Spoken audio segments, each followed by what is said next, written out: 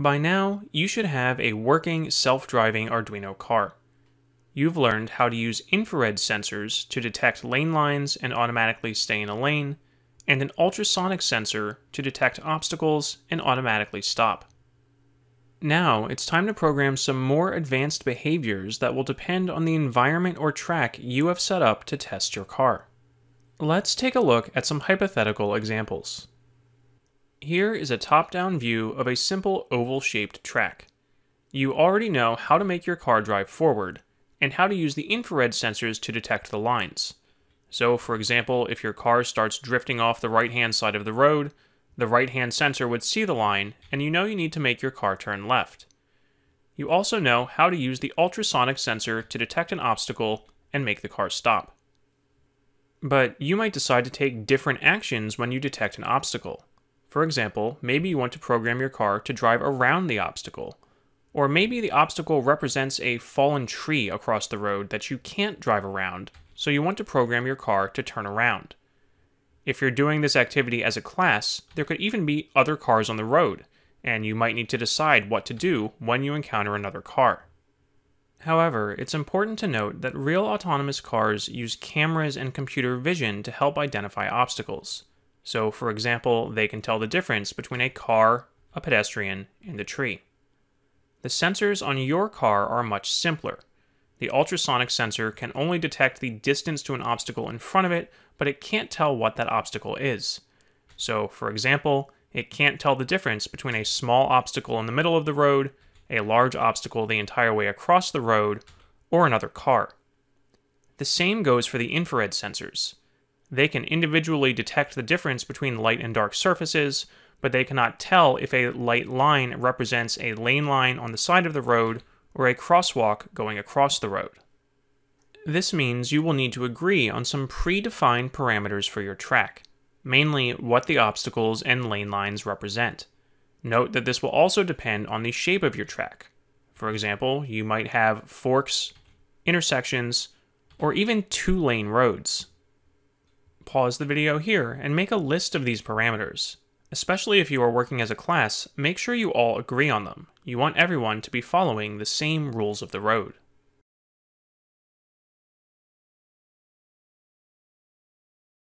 Once you do that, you will need to design an algorithm or set of instructions to control your car's behavior as it drives. This can get more complicated than basic lane following or obstacle detection when you start combining multiple types of sensors. For example, let's look at driving towards a small obstacle in the middle of the road. Say that you decide to program your car to drive around the obstacle. That would be a problem if your code also tells your car to turn to the left when the right hand sensor detects the line, because that will immediately make the car turn and crash into the obstacle. To successfully drive around the obstacle, you would need to temporarily ignore the readings from your infrared sensors, allowing your car to intentionally drive over the lane lines. There are several different ways you can represent your algorithm.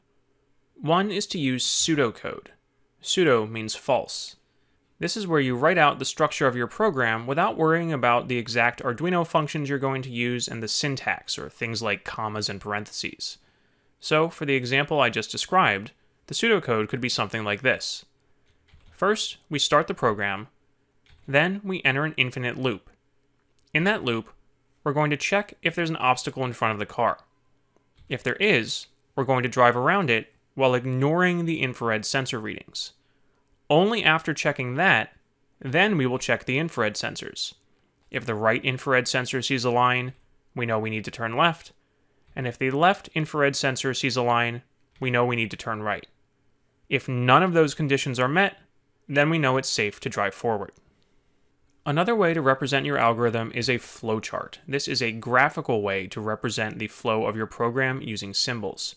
So, for example, using the same program that we just wrote pseudocode for, First, we would start the program. We represent the start with an oval. Then, we're going to check our first condition. We represent that using a diamond. Is there an obstacle in front of the car? If yes, then we're going to take an action, which we represent with a rectangle. In this case, that's drive around the obstacle while ignoring the infrared sensor readings.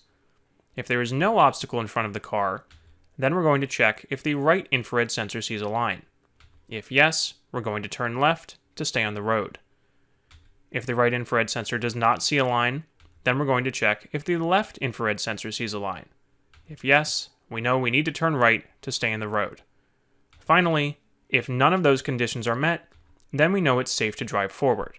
But we don't want our program to end there because then we would just drive forward forever without ever checking our sensors again.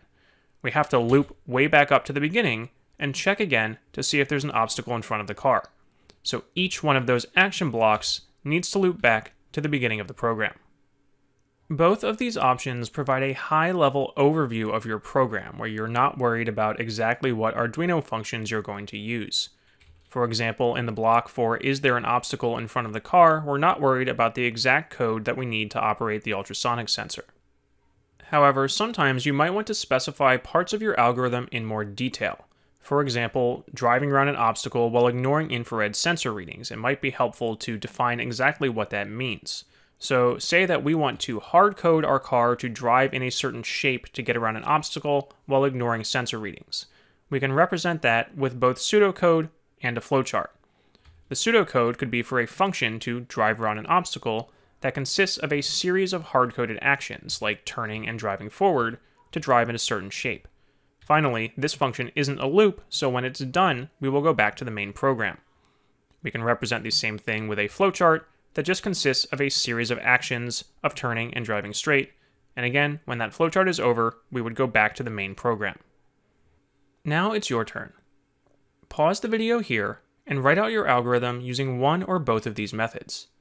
It's important to note that you can change your algorithm in the future, so you might want to start with something simple and then move on to more complex algorithms once you've gotten the simple one working.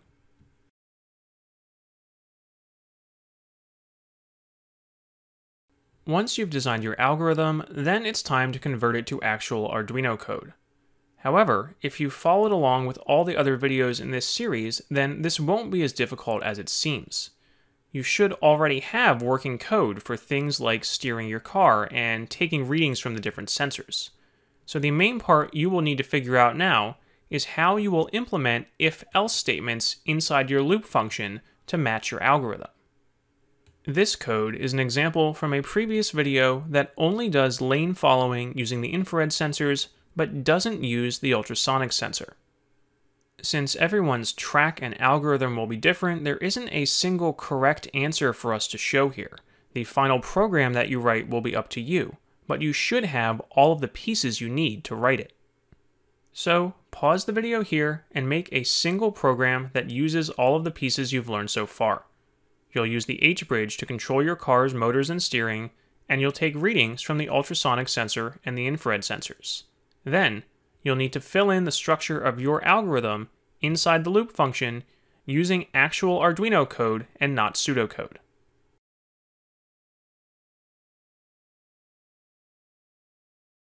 Once you've finished your code, it's time to upload it and test. Try not to get frustrated if things don't work perfectly on the first try. This is okay. You may need to tweak parameters in your code like the speed of your motors, or you might need to go back and redesign all or part of your algorithm. Again, once you've gotten a basic algorithm working, you can move on to more complex tracks and challenges.